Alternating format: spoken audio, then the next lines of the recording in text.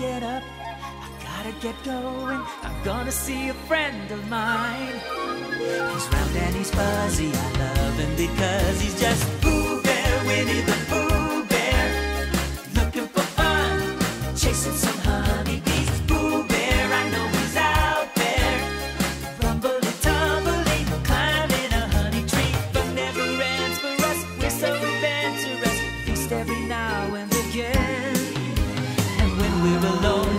there's nobody home, it's nice to be able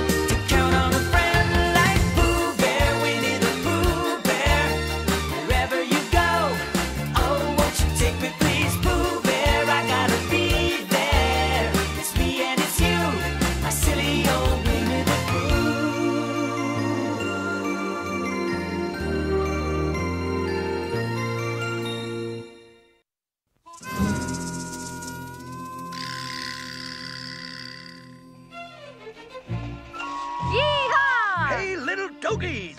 Whoa, oh, partner. Yippee-yi! Oh, bother. Come on, Christopher Robin. Let me run the choo-choo. I want to send it into a wall and see what happens. I don't know if you're ready, Tigger. You've never run a train before. They're not so easy. Oh, running trains is what Tiggers do the best.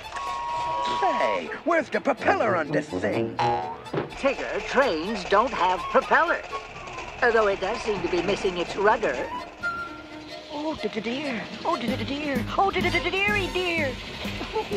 Oh, don't you enjoy playing with the train, Piglet?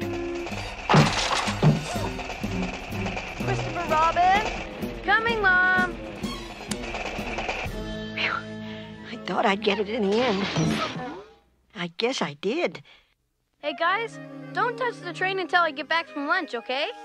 You can count on me, Christopher Robin. I'll keep an eye on these desperados.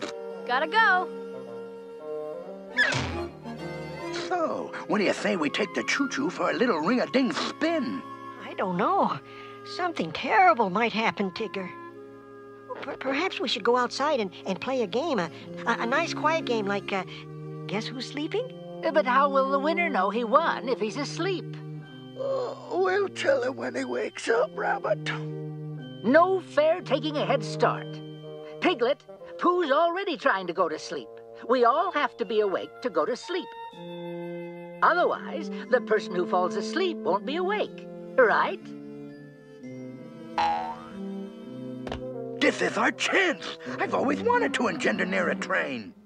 But I thought Christopher Robin said not to touch it. I'm not gonna touch the train. I'm gonna touch the controls. Aren't the controls part of the train? nah, they don't even know each other.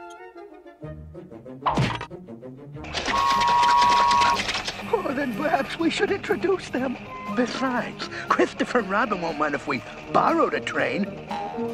Especially if he doesn't find out.